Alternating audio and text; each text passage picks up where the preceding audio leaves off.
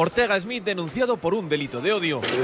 En un acto celebrado en Valencia el pasado septiembre, el número 2 de Vox se refería así a la inmigración musulmana. El enemigo de la libertad, el enemigo del progreso, el enemigo de la democracia, el enemigo de la familia, el enemigo de la vida, el enemigo del futuro se llama la invasión islamista y nos tenemos que unir contra ella. Afirmación que para la Asociación de Musulmanes contra la Islamofobia fomenta el rechazo hacia su comunidad. Es un argumentario que sirve perfectamente para el adoctrinamiento en el odio, que es una base indispensable para aquellos que luego se adoctrinan en la violencia. El discurso de Ortega Smith podía ser en gran parte asumido perfectamente por el terrorista de Nueva Zelanda. No es la primera vez que oímos a la formación de extrema derecha referirse en términos parecidos a la inmigración en España. Tenemos un gobierno cómplice de la invasión migratoria. E incluso vincularla con la delincuencia o la violencia machista. Llevan mucho tiempo los políticos ocultándonos las tasas de delincuencia asociadas a la inmigración.